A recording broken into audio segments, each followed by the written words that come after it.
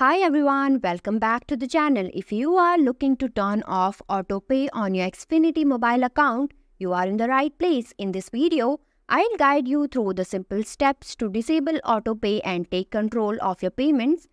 Let's get started. Log into Xfinity account, access billing setting page and find option to turn off automatic payment. Method 1. Using the Xfinity website. Go to the Xfinity website.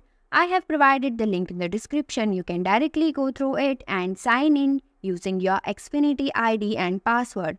Navigate to the billing page. Click on the billing settings section. Locate the autopay option which should show as on.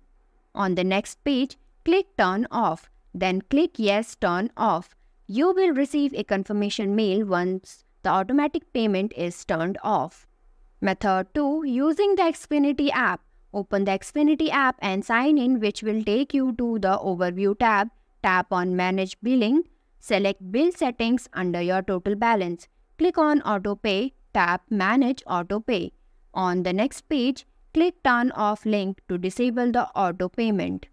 Thanks for watching. If you like the video, please hit the like button. If you want to see more videos, hit the subscribe button.